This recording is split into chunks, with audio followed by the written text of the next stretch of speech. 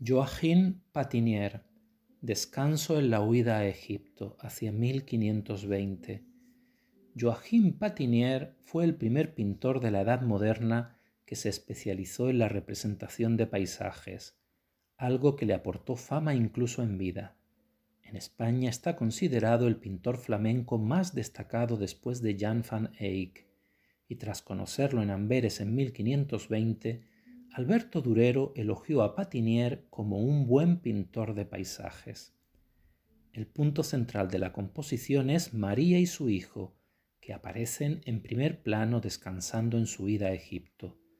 Partiendo desde la figura de la Virgen, la mirada otea como un pájaro sobrevolando el extenso paisaje, se desliza libremente en la distancia por los diversos caminos y caudales de agua, pasa sobre extrañas formaciones rocosas, molinos de viento e innumerables bosques, hasta detenerse en los barcos que se adentran en la infinita extensión marina. No se trata de un paisaje natural, sino una diversidad que abarca el todo, sujeta a un orden divino del mundo. La línea alta del horizonte permite a Patinier desplegar un paisaje del mundo grandioso, cuyo alcance y profundidad están caracterizados por una habilidosa aplicación de algunos colores locales, de verdes y marrones a un azul pálido y cristalino.